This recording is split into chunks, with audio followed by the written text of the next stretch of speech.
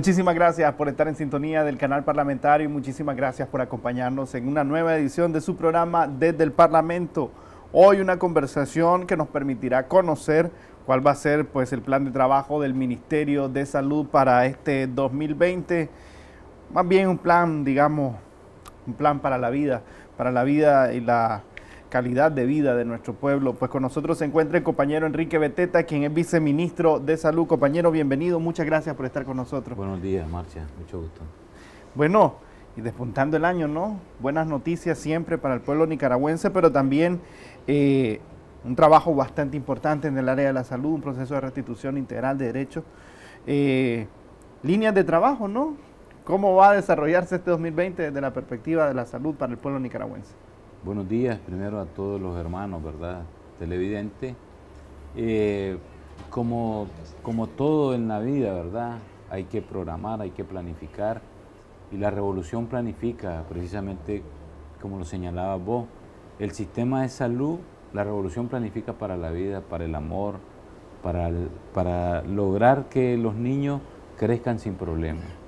Y en ese sentido, el Ministerio de Salud, el comandante Daniel, y la compañera Rosario nos ha dado la misión para poder eh, definir los ejes de trabajo en el ministerio, que son cuatro ejes, Marcia. Son cuatro ejes importantes para iniciar, digamos, a desarrollar las acciones que nos eh, aseguren cobertura en salud, que nos aseguren producción de salud, porque los actores comunitarios en este caso deben de producir salud. ¿verdad? La red comunitaria. Y el primer eje que tenemos nosotros en el plan 2020 es el de crecer en calidad y cobertura precisamente en el modelo de salud familiar y comunitario. Crecer en calidad y cobertura.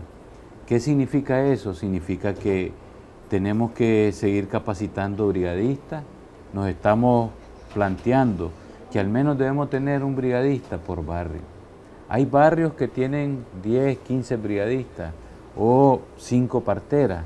Hay otros barrios o otras comunidades que no tienen. Entonces, hoy día nosotros estamos a la misión de captar, preparar, capacitar al menos un brigadista y una partera por barrio para poder asegurar ese trabajo con la red comunitaria y capacitar a esa red comunitaria, darle eh, información, darle conocimiento para fortalecer el sistema de salud.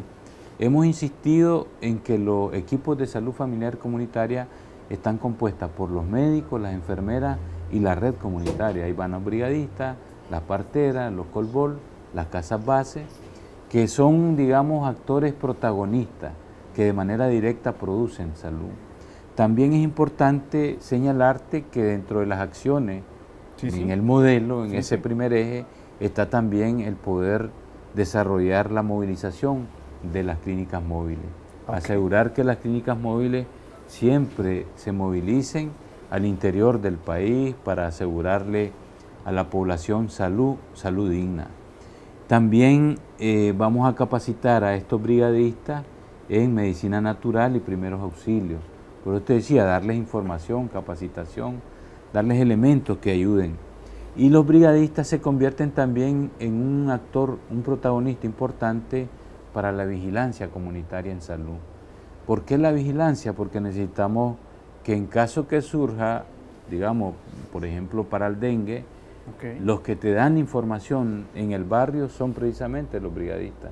Son de primer orden la información que te dan. Y es importante para nosotros esa información que tienen los hermanos en la comunidad. Hablo de dengue, pero también puede ser Recordemos que en algunos momentos ya nunca más hemos sido amenazados por el cólera, pues, ¿verdad? Pero hay brotes, pues, hay brotes, por ejemplo, un brote de lectospirosis que está siempre activo, pues, ¿verdad? Entonces, esa vigilancia comunitaria necesitamos que ellos nos ayuden. Entonces, son para nosotros un actor de manera directa que produce salud. También es importante mencionar que vamos a seguir implementando desde el punto de vista del programa de promoción de medicina natural y terapias complementarias, la medicina natural a través de terapia de flores, ¿verdad? Eh, la acupuntura Recordemos que el año, el año pasado vinieron los hermanos de Vietnam a precisamente a, entablar eh, algunos convenios con, con el Ministerio de Salud y eso va a significar preparar médicos y también asegurar que el Ministerio de Salud pueda ofertar el tema de la acupuntura. También debo decirte que dentro del modelo está la implementación de la medicina materno-fetal. Eso pasa, si vamos a hablar de medicina materno-fetal, eso pasa precisamente por asegurar, mejorar los sistemas de información perinatal, asegurar también que nosotros tenemos un instrumento que se llama el Censo Gerencial de la Embarazada. El equipo de salud familiar y comunitario lleva ese censo gerencial. Si yo vivo en el barrio Camilo Ortega, yo debo saber como equipo de salud familiar comunitaria cuántas personas tengo en el Camilo Ortega, cuál va a parir primero, cuál está, digamos, que ya parió, que ya salió y que tengo que ir a ver si está llegando, pues, a su eh, atención puerperal. Entonces, ese, instrumento, esa herramienta que es el censo gerencial, vamos a seguirlo de alguna manera fortaleciendo con el seguimiento, el monitoreo que se le da desde la parte central del sistema de salud, así como también en los propios SILAI. Pues. Recordemos que eh, el, fortalecimiento de estos instrumentos nos asegura que esas mujeres puedan estar en control permanente, les aseguremos los exámenes complementarios y ese niño nace lleno de vida, como mencionabas vos. Pues. También el tema de las casas maternas. Vamos a seguir albergando a las mujeres. El año pasado nosotros albergamos casi 66 mil mujeres en las casas maternas. Eh, esperamos nosotros seguir ofertando este tema. Recordemos que con los hermanos de China-Taiwán hemos estado mejorando ¿verdad? las casas maternas, asegurándole a las mujeres más comodidad. Eh, eh, antes de que entráramos al programa, hablábamos de que qué es lo que hacen las mujeres en las casas maternas. Entonces hay una serie de acciones que las mujeres realizan y que les garantiza precisamente ocupación. El tema de las complicaciones obstétricas, vamos a fortalecer conocimiento a nuestro médico para evitar complicaciones obstétricas como el parto prematuro o el tema del síndrome hipertensivo gestacional. Esos son conocimientos que les tenemos que brindar precisamente a nuestros médicos. El tema de las lesiones premalignas, el cáncer de cervix o el cáncer en la matriz que conoce la gente y eh, que nos aseguren de alguna manera poder realizar a las mujeres su Papa Nicolau. Estamos planteándonos al menos hacer al 45% de las mujeres en, edad fértil, una vez iniciada la vida sexual activa, puede ser desde los 15 hasta los 99 años, Marcia, de tal forma que podamos eh, tamizar, realizarle los exámenes a ese grupo de población. Y entregar los resultados de esos exámenes a los 21 días para evitar, digamos, no para evitar, sino para asegurar el seguimiento oportuno. Y el seguimiento también implica visitar la casa, ¿verdad? Si acaso esa, ese examen salió alterado, visitar a la mujer, lograr que los compañeros en el centro de salud, en el hospital, den el trato humano y con calidad a las compañeras que salen, digamos, afectadas y también debemos de asegurar toda la tecnología que nos permita el tener hasta en el último unidad de salud los equipos de colposcopía y de crioterapia para el tratamiento de la mujer. Vamos a asegurar también la promoción y prevención y detección temprana de las lesiones del cáncer de mama. Eso significa ah, extender la quimioterapia, en este caso a Granada y Ginotepe, ¿verdad? Dar mayor cobertura en estos departamentos. Eso para que se realicen en esos lugares. ¿Perdón? Para que se realicen en estos departamentos. Para que se realicen en esos SILAI, en esos departamentos, y poder de alguna manera generar eh, la movilización de la gente a que pueda, las mujeres puedan llegar a hacerse sus exámenes. Las, las visitas casa a casa a las mujeres con cáncer de mama también es importante para nosotros y también asegurar en todo caso la actualización de los conocimientos a los colegas médicos, pues, en este caso sobre este tema. Aquí es importante la parte preventiva. Todas las mujeres, en este caso, eh, pueden hacerse el autoexamen, conociendo cuáles son, digamos, las maneras de hacérselo, pues, ¿verdad? Luego también dentro del modelo tenemos los programas de nutrición enfocados a los problemas de obesidad, sobrepeso y desnutrición. Vamos a tener el seguimiento a los niños con problemas de, nutrición que salen precisamente en el censo nutricional que nosotros realizamos año con año. Este censo lo venimos realizando desde hace unos cinco años, seis años atrás, ¿verdad? Lo hacemos eh, en las escuelas y también eh, lograr hacer un programa de promoción y comunicación y ahí ustedes nos van a ayudar en salud para el fomento precisamente de la alimentación saludable. No queremos más comida chatarra, no más Coca-Cola, todas esas cosas tenemos que, eh, digamos, invitar a la gente para que logre hábitos eh, mejorar los hábitos. Seguimos asegurando este año el censo nutricional en niños de la primera infancia y en niños escolares, es decir, vamos a ir a la escuela a asegurar precisamente ese censo nutricional, que para conocer un, poquito más, eh, digamos, eh, de este año, cómo estamos avanzando en relación al, al asunto nutricional. Y con el Ministerio de Educación vamos a darle capacitación a los padres y a los maestros sobre el tema precisamente del tema nutricional. Hay otro tema que es el salud visual a la niña nicaragüense. Ese tema lo hemos iniciado en Boaco, Marcia, eh, es poder hacerle el pesquisaje a los niños.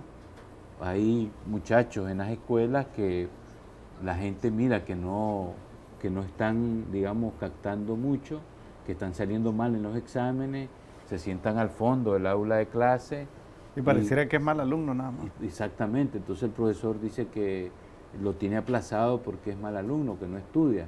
Pero son niños que es que tienen problemas visuales.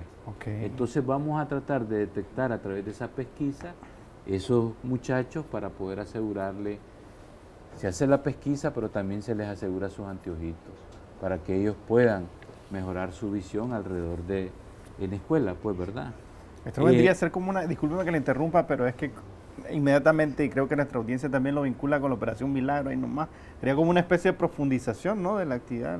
No, esta es, digamos, muy, muy particular. Muy particular. Muy particular y es una... Porque no, no es que vamos a operar al muchacho, son los que salen con problemas, digamos, de agudeza visual. Claro, si sale algún niño con alguna situación que amerite, pues se revisa con el Centro Nacional de Oftalmología se, hace la referencia y ellos valoran pues si hay que hacerle algún procedimiento o no. Claro que sí. El otro tema es el tema del programa de promoción y prevención de la salud renal. Eso pasa por capacitar a los médicos, eh, por ejemplo, si tenemos médicos internistas, capacitarlos en el tema de nefrología para detectar, digamos, la insuficiencia renal crónica, para tratar también la insuficiencia renal crónica, y asegurar, digamos, el seguimiento a estos pacientes. Hay una, eh, en el caso de Riva, eh, se ha logrado construir una área que precisamente es para hacer la diálisis y hemodiálisis en el hospital de Riva. Eso asegura eh, poder dar cobertura un poco más, en este caso, este SILAI, recordar que nosotros tenemos en León, aquí en Managua, en Estelí, ese servicio y hoy lo estamos extendiendo pues en este año arriba, pues prácticamente ahí la, el área ya está casi terminada y vamos a asegurar la, digamos, la inauguración este año. El otro tema es el programa de salud mental.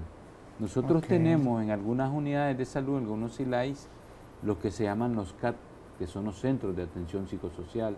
Estos centros de atención psicosocial son como hospitales de día, Elmer de tal forma que los pacientes que necesiten valoración, ya sea psicológica, eh, psiquiátrica o atención eh, más específica en el campo de la salud mental, pues llegan, pasan, son albergados de día, pues, tres, cuatro horas o están todo el día ahí.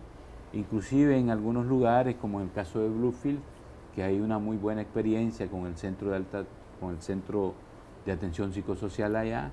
Ahí inclusive hay albergues para niños, hay salas de juego. Ellos en algún momento albergan también a hermanos que están en la drogadicción y logran, digamos, darle su seguimiento, su tratamiento y todo. Han logrado hacer un bonito trabajo, pues, en el caso de, del CAP que tienen los compañeros en, en, Bluefield. Yo le mando un saludo al doctor Rubén Dávila por ese trabajo, ¿verdad? Y a todos los compañeros del SILAI. Lo, otro que surge en este tema de salud mental también es la elaboración de la norma de cuidado de salud mental que tenemos que aprobar este año, trabajándola desde servicios de salud, ¿verdad? Con el área de regulación del Ministerio de Salud para poder, digamos, normar un poco la atención en este tema. vamos a, darle capacitación a médicos generales y posiblemente enfermeras, psicólogas, trabajadoras sociales sobre el tema precisamente salud mental para fortalecer este tema. Pues. Muy vital también dentro del proceso de desarrollo humano, casi siempre eh, cuando hablamos de salud, eh, pues visualizamos otros aspectos, casi siempre le vinculamos con la labor clínica, pero sin duda alguna no lo tiene que decir, lo va dejando muy claro, específicamente un tratamiento holístico e integral de toda la salud. Compañeros, que tenemos que hacer nuestra primera pausa, ah, pero al volver quisiera que eh, nos continuaran hablando porque entiendo que hay más. Sí, sí. y hay más trabajo. Eh, y bueno, el pueblo nicaragüense lo ve ahí siempre que va al Ministerio de Salud, a cualquier unidad eh, de atención médica. Hacemos una breve pausa y continuamos conociendo todo este eh, gran esfuerzo que se estará realizando. Cuatro ejes principales de trabajo para este año 2020. Hacemos una breve pausa y ya volvemos.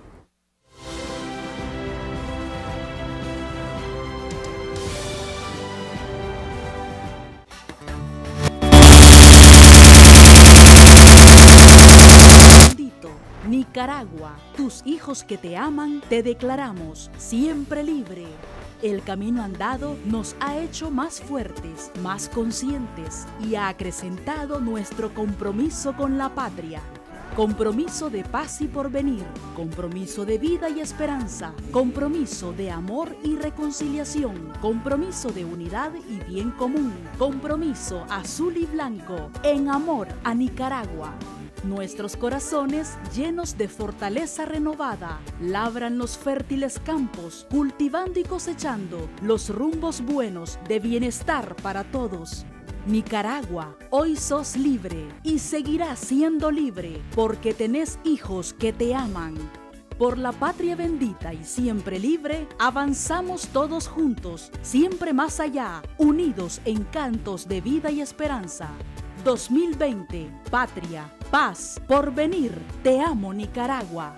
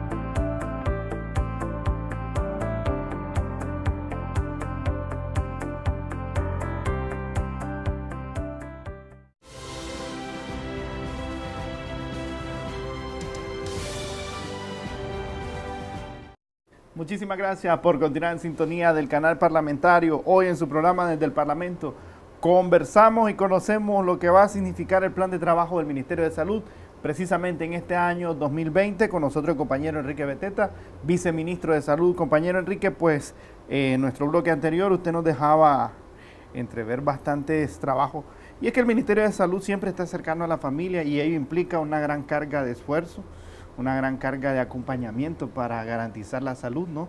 Eh, cuatro ejes principales de trabajo y usted mencionaba algunos, quiero recapitular un poco uno muy, muy acertadamente, calidad y cobertura, eh, aspectos que las familias, las familias nicaragüenses eh, sienten como propios, ¿no? Entre mejor cobertura, entre más calidad pues mejor tranquilidad para la familia. También mencionaba un poco del trabajo ya realizado el año 2019, casi 66 mil servicios prestados en casas maternas, ¿no? Albergadas. Albergadas. Bueno, una cifra que se dice fácil, pero que sin duda alguna siempre significa mucho trabajo. ¿Qué más viene para este 2020 eh, de la mano de Dios, no? el trabajador de la salud es un es un alma misionera. es, alguien enamorado de su trabajo, dispuesto a ver, por ejemplo, en la epidemia del dengue, los compañeros de ETV no se despegaron del territorio. Ustedes vieron, fumigando, abatizando, ahora es con el BTI, que es el, otro, la otra sustancia, ¿verdad? biológica que se está echando. Ese por mencionar uno, pero si Buscamos las enfermeras, hermano, las enfermeras son mujeres trabajadoras ahí en la jornada de vacunación, en el centro de salud, en el hospital, o sea, dando su enteramente su trabajo, pues, ¿verdad? Son enamorados, pues el misionero es un militante del amor y todos los trabajadores de la salud son militantes del amor. Por eso es que esto, esto digamos, eh, programa o estos planes, nosotros los hacemos pensando en ese amor que le tienen los compañeros al, a la comunidad, pues al barrio. Hay un elemento dentro del modelo, que es el último, que es el que tiene que ver con la lucha antiepidémica. ¿Verdad? Es, digamos, toda la disposición que tiene inclusive el Ministerio de Salud, la red comunitaria, para seguir eh, enfrentando las situaciones epidémicas del país. Y eso desde la, con las familias y las comunidades, pues, vamos a seguir, digamos, desarrollando acciones contra el Zika, contra el dengue, contra el chikungunya, es decir, contra el mosquito. Es importante siempre tener presente que aunque estemos en verano, tenemos que seguir eliminando criaderos, aunque estemos en verano, porque las, digamos, las proyecciones que OPS da para la situación del dengue en este año no son tan buenas. Pues. Entonces es importante que la familia eh, mantenga eso. El hábito de limpieza. El hábito de limpieza, vivir bonito, vivir bien, vivir guapo. ¿Verdad? sí, la compañera en eso fue, digamos, sabia. Siempre, siempre nos da el, norte, pues. Entonces, está precisamente eso, la eliminación, la lucha antiepidémica contra el mosquito. Tenemos el trabajo permanente también en relación a la jornada de vacunación, que eso, una jornada que posiblemente eh, va a estar a mediados de abril, por ahí. Estamos pensando en que hay que vacunar en esa jornada 1.330.000 dosis de vacuna, hay que aplicar. 1.330.000 dosis de vacuna. Y también eh, dos jornadas de ratización, tenemos que seguir luchando contra la leptospirosis ¿verdad? Jornada de vacunación canina, los perros no se nos pueden quedar atrás. Un millón doscientos mil perros hay que vacunar, ¿verdad? En este año. Y las estrategias de contención de la malaria en Bilgu y Las Minas, en, en Río San Juan, donde precisamente hemos tenido afectaciones, pues. Eh, las acciones y una realidad por las condiciones climatológicas de la zona. Exacto. Nuestro plan verano eh, también está dentro de de, las actividades epidemiológicas. Vas a decir, chocho, acabamos de salir de Navidad, ya están pensando en el plan verano. Pero tenemos que programarlo, pues, para que la gente asista, así como de la misma alegría que celebró diciembre, de esa misma alegría tiene y ese mismo entusiasmo tiene que salir a las playas a celebrar. Entonces nosotros vamos a las playas a asegurar que las comidas estén de alguna manera supervisadas, higiénicamente eh, digeribles, pues, ¿verdad? Entre otras cosas. Y desde luego eh, las acciones de protección y prevención con el plan de diciembre, ¿verdad? El plan pólvora para evitar eh, situaciones que lamentar, que digamos no puede ser que se nos quemen los niños, ¿verdad? Para diciembre del 2020 y los planes de emergencia sanitario local sobre el tema de eh, que tiene que ver con eh, desastre o ante emergencia, pues.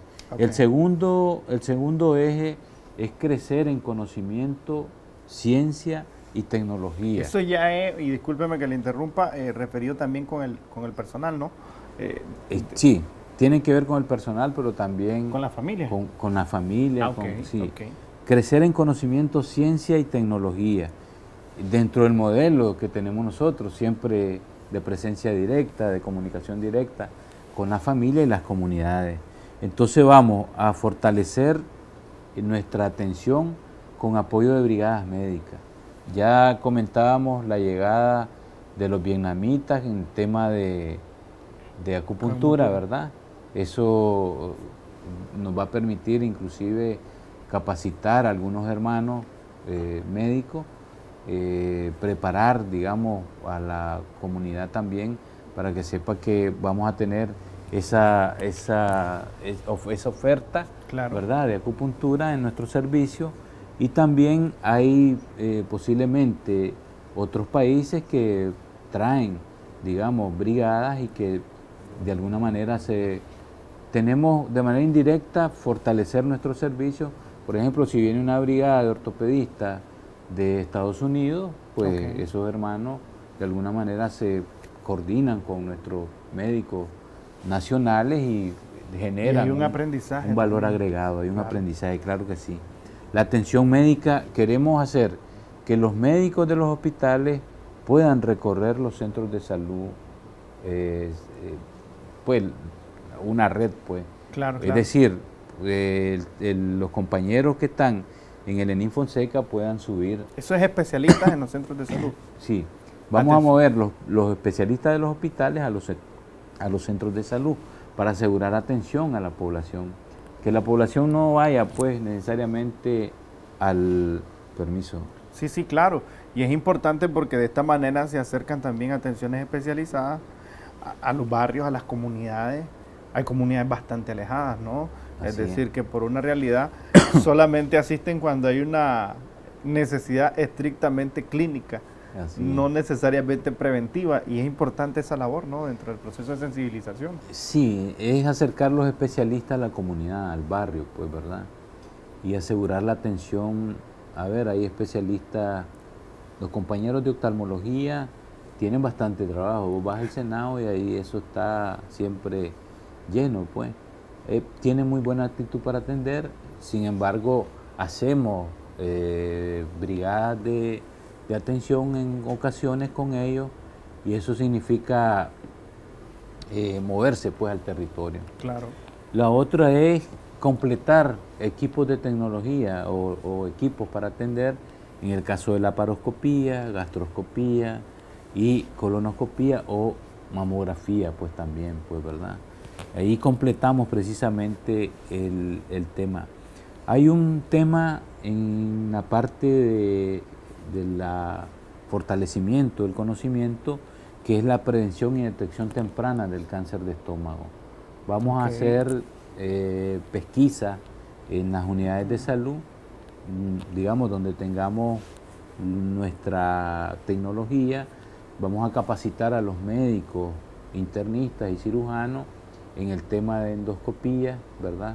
Para la detección del cáncer de estómago. Pero también vamos a hacer esas jornadas en, digamos, en todo el país para lograr asegurar. Uno de los cánceres más, eh, digamos, que tenemos eh, de primer orden es precisamente, entonces necesitamos hacer pesquisaje para saber cuántos nicaragüenses pueden estar iniciando precisamente a, tener este, este, este mal.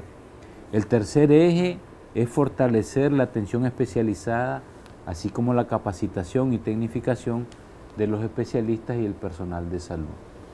¿Qué implica eso, Marcia? Implica que vamos a formar recursos humanos en sus especialidades médicas. Por ejemplo, hay, hay compañeros que están, digamos, eh, solicitando becas en el extranjero y que ya, digamos, eh, está determinado que están aprobadas, esos compañeros nosotros vamos a apoyarlos, ¿verdad? Con la beca que, se, que estima pues, el Ministerio de Salud, eh, revisando las especialidades, pues que nosotros necesitamos que, que vayan, pues que tenemos dificultades.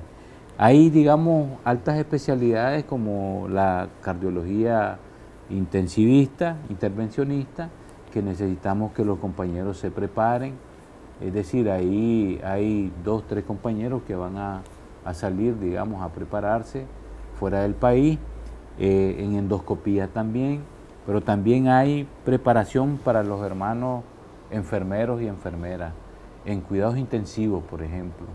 Eh, eso le da de alguna manera fortaleza al sistema de salud, el preparar precisamente a los recursos humanos. Y el otro tema son las especialidades acá en el país. Año con año el Ministerio de Salud oferta una cantidad de becas para estudio. En este caso, este año son 150 becas médicas para especialidades.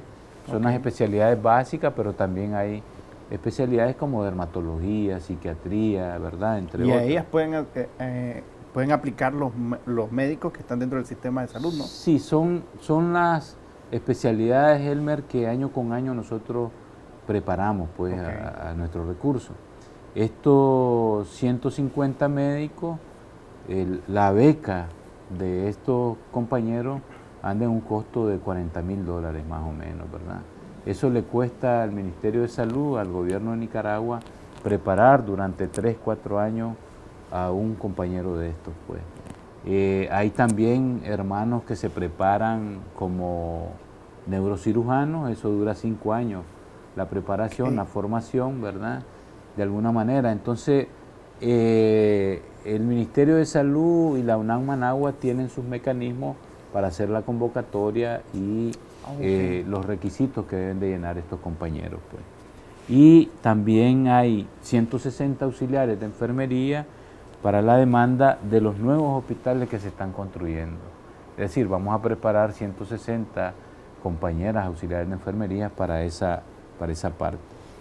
Luego tenemos que vamos a fortalecer los conocimientos de los médicos, especialistas y personal de salud. Todos los años nosotros tenemos una carga de congresos nacionales e internacionales que permiten precisamente fortalecer el conocimiento de los médicos. Ahí, digamos, son 45 congresos lo que realizamos en todo el año. Ahí van desde eh, la parte de medicina natural, la parte de ginecología, el tema materno eh, infantil, el tema que tiene que ver con la parte pediátrica y asegura precisamente la participación de los hermanos. También hay, hay movilización alrededor del tema de prevención de desastres, hay también temas que tienen que ver con el, tema del VIH-Sida, la afectación, ¿verdad? Se hace un análisis de esto Vamos a seguir construyendo con la educación continua, ¿verdad? Yo te decía la vez pasada que hay 70 puntos en el país donde podemos comunicarnos vía virtual. Y entonces a través de eso podemos hacer, le llaman telemedicina, es decir, puede haber telediagnóstico, teleconsulta, también puede haber, digamos, eh, consulta de un médico especialista. Sí, exactamente. Sí, porque, digamos, manda las muestras clínicas desde la costa caribe norte, de cualquier lugar. Por ejemplo, los compañeros de Ciuna hacen teleconsultas con los compas de la mascota, de Ciuna, ¿verdad? Porque tienen, digamos, hay puntos de, de enlace, que se conectan, entonces perfectamente con los compañeros de pediatría hacen consultas de algunas patologías que ellos necesitan, pues, mayor experticia y que puedan darle información.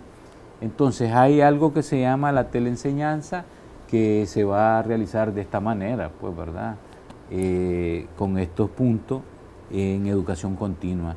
Y hay un proceso que se está iniciando, los compañeros, por ejemplo, hay un equipo nacional que se está conformando de ortopedia, que estos compañeros van precisamente a fortalecer esta área que tiene, que tiene que ver con ortopedia. Eso va a significar fortalecer la red de todos los hospitales. Hay hospitales que tienen especialistas en codo, hay otros hospitales que tienen especialistas en tobillo y rodilla, y entonces necesitamos nosotros de alguna manera que se pueda eh, compartir ese, ese saber, ¿verdad? Y que pueda generar de alguna manera información importante para los médicos ortopedistas, pero también para, para todos, pues, digamos, hay, hay lugares donde los compañeros, digamos, tienen dificultades para poner una prótesis, de rodilla, ¿verdad? una prótesis de, cadera. Entonces es compartir ese conocimiento y que pueda generar, eh, digamos, ganancia para los pacientes, para el pueblo, a través de ese saber, pues, ¿verdad? Y claro que sí, más tranquilidad para las familias nicaragüenses, eh, al tener, eh, bueno, equipo médico, en principio, como lo viene mencionando, de alta tecnología, pero también capital humano, bastante equipo humano, personal médico altamente calificado, eh, vital para el proceso de la salud. Por ejemplo, el Belespay. Sí. Tiene un auditorio muy, muy, yo uso mucha metáfora, muy guapo, grande, fresco, pues, pues, bien climatizado. Y ellos pueden estar operando en el quirófano y transmitir en la pantalla del auditorio esa operación. De tal manera que esas son conferencias en vivo, pues, ahí, en el momento. Hacen, digamos, la cirugía y después regresa el maestro al auditorio a discutir con los que vieron, ¿verdad? De tal forma que eso se va a realizar precisamente también con los compañeros, pues, ¿verdad? Muy, muy... Bueno, sí, de avanzada todo, ¿no? Eh, Compañero Enrique, tenemos que hacer una nueva pausa. Eh, sin duda alguna, pues no dejan de asombrarnos los avances y que permiten, y utilizando la tecnología de forma correcta, ¿no? Para el bienestar de las familias nicaragüenses. Hacemos una breve pausa y quiero que nos comente lo que sigue, ¿no? De repente hay bastantes eh, buenas nuevas que nos terminan de asombrar, pero que son la realidad que vive en nuestro pueblo. Así Esos son los avances que está experimentando Nicaragua. Hoy conversamos y conocemos lo que significa el plan de trabajo del Ministerio de Salud para este año 2020. Hacemos una breve pausa y ya volvemos.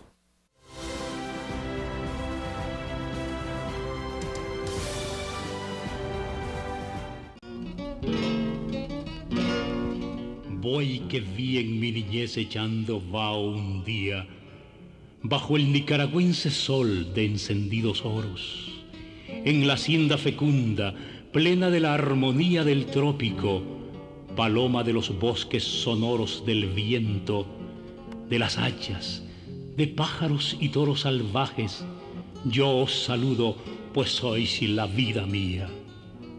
Pesado buey, tú evocas la dulce madrugada que llamaba la ordeña de la vaca lechera, cuando era mi existencia toda blanca y rosada, y tú, paloma arrulladora y montañera, significas en mi primavera pasada todo lo que hay en la divina primavera.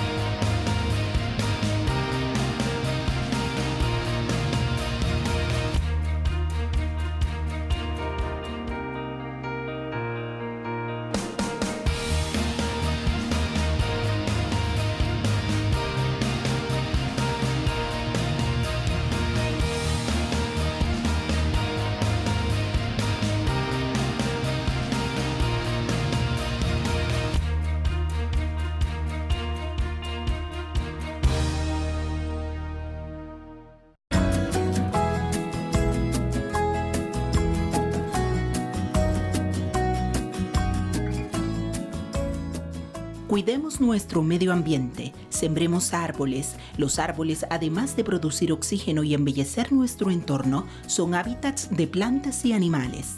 Promovamos la siembra y cuido de árboles para un aire más limpio. Cuidemos nuestra flora y fauna. Este es un mensaje de la Asamblea Nacional.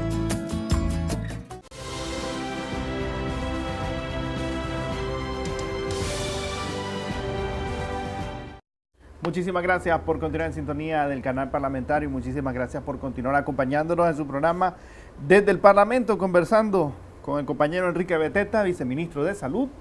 Con él conocemos lo que significa el plan de trabajo del Ministerio de Salud para este año 2020. Compañero Enrique, pues, ¿qué más? Bastante trabajo ya mencionado. Bueno, y mucho de ello descansado sobre bastantes conquistas ya alcanzadas pero eh, lo que continúa dentro de este plan de trabajo para el 2020. Sí, quizás el último eje es precisamente asegurar la vinculación permanente del sistema de salud, del Ministerio de Salud, con los hermanos del INS. Es decir, eh, encontrarnos, pues, ¿verdad? Encontrarnos para desarrollar trabajo en conjunto, para coordinarnos, articularnos y que los, en este caso, los protagonistas sean los que salgan con ganancia, pues, ¿verdad? Claro. ¿Por, qué, ¿Por dónde pasa eso? ¿Qué significa eh, vincularnos? Significa que tenemos que definir necesidades de especialistas y supraespecialistas. Voy a poner un ejemplo. El Centro Nacional de Oftalmología solo tiene un irólogo, que es el que ve el iris, ¿verdad? Entonces, es que las subespecialidades siempre se vuelven, eh, digamos, tan complicadas, pero bueno, eso es así. Y entonces, por mencionar eso, pues, ¿verdad? Pero también necesitamos, yo mencionaba anteriormente, los cardiólogos intervencionistas o intensivistas, ¿verdad? Que son necesarios en el país. Es decir, es buscar sus especialidades que son necesarias para resolver la demanda que tenemos, pues. Ese uno.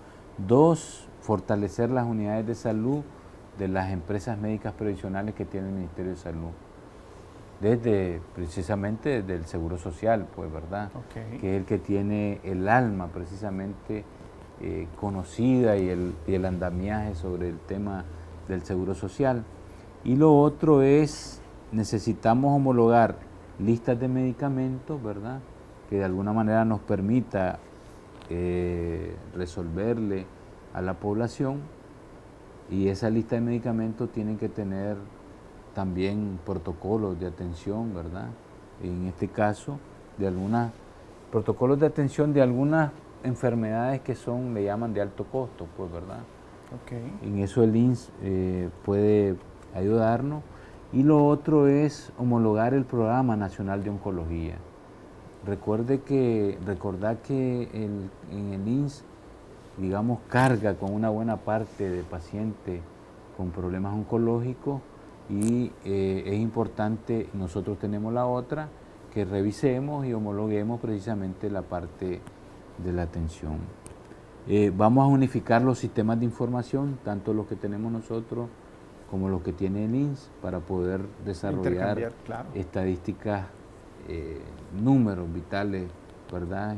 Y lo último es que el INS nos va a apoyar a nosotros, al Ministerio de Salud, para el tema fortalecer la entidad regulador, reguladora del Ministerio de Salud. Nosotros tenemos una dirección de regulación que es la que revisa, por ejemplo, la parte en farmacia, los insumos, eh, todos todas estas empresas que traen medicamentos deben registrarlos ahí y asegurar que realmente estén, digamos, eh, en, regla, pues. Eso es en cuanto a los ejes, Elmer. Quiero ahora, de alguna manera, hablarte sobre la parte de infraestructura, que es, digamos, que se van a desarrollar. Eh, traemos una cantidad de obras de arrastre ¿Qué significa de arrastre? Que se empezaron en el 2019, algunas se van a terminar en el 2020, pero hay otras que van a continuar al 2021 u otras posiblemente al siguiente año, pues, ¿verdad? Claro, de esas tenemos 23 obras de arrastre, ¿verdad? estarán concluidas este año. Que sí, que algunas se van a concluir este año Ok. y hay otras que no, pues. Entonces, las que se las que se están construyendo, ¿verdad? Por ejemplo, está el Hospital Departamental de Chinandega, el reemplazo del Hospital Departamental Luis Alfonso Moncada de Nueva Segovia, el reemplazo del Hospital Regional Los Cardanilo Rosales de León, el reemplazo del Hospital Regional Nuevo Amanecer de la región autónoma de la costa Caribe. Norte y el reemplazo del Hospital Primario San José de Matiguá. Por mencionarte, digamos, los hospitales grandes, ¿verdad? En este caso. Hay otras obras que tienen que ver el mejoramiento de la emergencia del Hospital Asunción de Huialpa, el mejoramiento del laboratorio clínico del Hospital de Jinotepe, el Hospital Regional. Eh, estamos logrando eh, mejorar el acceso al agua potable en el Hospital Berta Calderón y el mejoramiento también de los quirófanos del Berta Calderón. Son dos obras mm, muy importantes en el Berta eh, y también vamos a mejorar el sistema de climatización de quirófano del Hospital de Huigalpa de Chontales. La Ok. construcción de la emergencia, de la hospitalización, laboratorio y farmacia de la CMP, de, de la filial de San Vicente de Paúl en Chinandega, que está, entiendo, se termina en este año, está así, y la rehabilitación del laboratorio de biología molecular de entomología en el CNDR. Ese el Centro Diagnóstico Nacional que tenemos allá en el Conchita Palacio. Pues. Esas son el- parte de las 23 obras que te mencionaba y hay 58 nuevas obras a ejecutar este año. Ok. No te las voy a leer todas, voy a leerte quizás las primeras para que Claro, claro, para tener el idea. reemplazo del hospital primario Fidel Ventura de Guaslala, eso es en Matagalpa. Oye, eso es Claro. allá en la profundidad del territorio, pues, ¿verdad? Donde fue zona de guerra, pues, zona de mucho conflicto. El reemplazo del hospital primario de Quilalí de Nueva Segovia, otra zona bastante, eh, digamos, afectada por la guerra, pero que hoy día lo que se hace es florecer la vida, pues, con esos hospitales Claro que sí. el reemplazo del hospital primario de Huihuilí de Jinotega y la construcción del hospital primario Los Chiles en San Carlos, Río San Juan.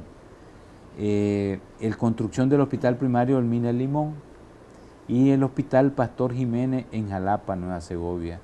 Son parte de los hospitales. Debo mencionarte que hay un hospital que es emblemático, que es el de Nueva Guinea, el Hospital Departamental de Nueva Guinea, que ese se va a construir con cooperación japonesa, ¿verdad? De tal forma que ese son parte de los cincuenta y pico de obras que nosotros vamos a, desarrollar este año, pues. Y esto va acompañado precisamente también de ir preparando eh, los recursos médicos, los hermanos que van a estar ahí, por eso las 160 enfermeras, por eso la salida de los especialistas fuera del país para poder, digamos, cuando vengan, ubicarse según las necesidades que se tengan acá, pues, en el, en el país, ¿verdad? Ese es, digamos, parte del plan de vida, como vos lo señalabas muy bien, plan de vida y amor que el Ministerio de Salud tiene para los nicaragüenses, pues, ¿verdad? Compañero Enrique, eh, bueno, sé que podríamos, y estoy muy claro, podríamos conversar más tiempo sobre esto, eh, pero por ahora el tiempo no ha alcanzado. Eh, de mi parte no tengo más preguntas, pero si usted quisiera compartir un mensaje con nuestra audiencia, tiene el espacio para hacerlo, están las cámaras del canal parlamentario en un minuto. Tiene, tiene, si usted lo tiene, pues a bien puede hacerlo. No, muchas gracias. Eh, no, decirle a los hermanos nicaragüenses que el comandante Daniel y la compañera Rosario, a través de estos planes de nuestras instituciones, en este caso del Ministerio de Salud, apuestan por la vida, por la tranquilidad, por el amor, la armonía, la esperanza de este país, para seguir, digamos, animando al pueblo, al trabajo y a la alegría, importante para todos. Muchísimas gracias, compañero Enrique. Muchísimas gracias por compartir toda esta información con nuestra audiencia. Sin duda alguna, eh, además de los datos que brindó, las obras que mencionó y todo el trabajo que ellas realizan, es algo que nuestra audiencia, nuestro pueblo va a una unidad médica, un centro de atención y, lo ve, pues es decir, es una realidad. Muchísimas gracias. Okay. Y a usted que está en su hogar también, muchísimas gracias por habernos acompañado a nombre de todo el equipo que hace posible la transmisión de su programa desde el Parlamento. Le agradecemos su fiel sintonía. Le invitamos a que se quede en compañía del canal parlamentario, el canal de la Asamblea Nacional. Estuvo con ustedes Elmer Marcia y les esperamos en una nueva edición.